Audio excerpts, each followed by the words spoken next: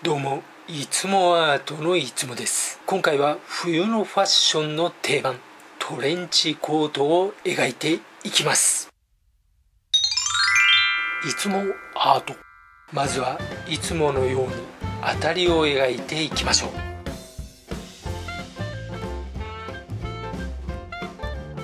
そして襟から描いていきましょう。トレンチコートの襟は大きめに描いていきましょう。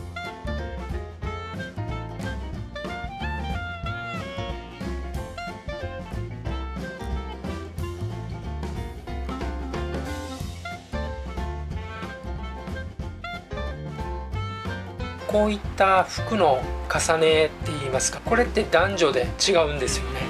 確か女性用の服は右側が上になるようになってると思います。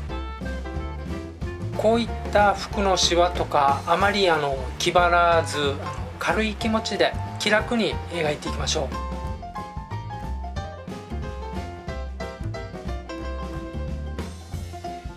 トレンチコートといえば大きな襟。そしてこのベルトを帯みたいにして結ぶという形ですね。この2ポイントを押さえて描くとトレンチコートになると思います。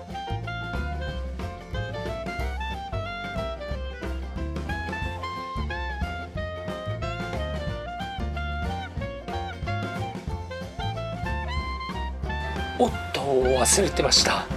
トレンチコートのもう一つの特徴ボタンです。ボタンはだいたいボタンは2列並びでだいたい6つか8つぐらい描けばそれっぽくなると思います。ちょっと自然に見せるために最後のボタンはかけてないようにしました。トレンチコートでよく見られるんですけど肩の方にも帯がありますよね。最近こういった形もあるのでちょっと描いてみました。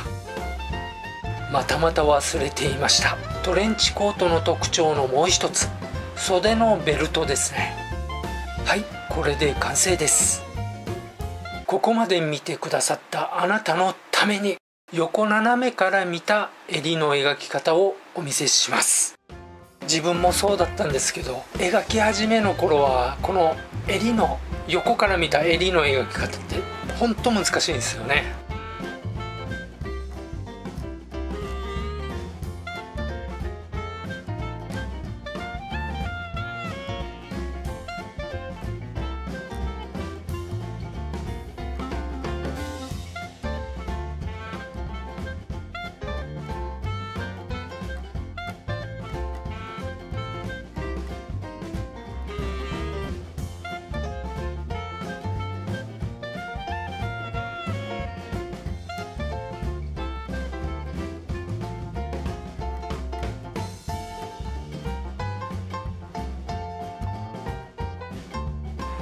これで完成です。